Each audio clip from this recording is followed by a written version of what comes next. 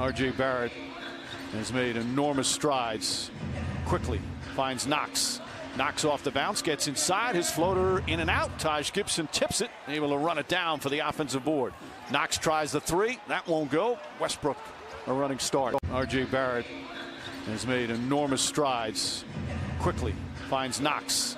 Knox off the bounce, gets inside. His floater in and out. Taj Gibson tips it, able to run it down for the offensive board.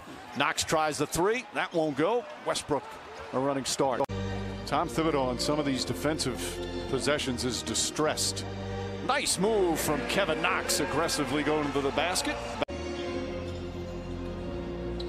Payton finds Knox, stocks the high arcing three.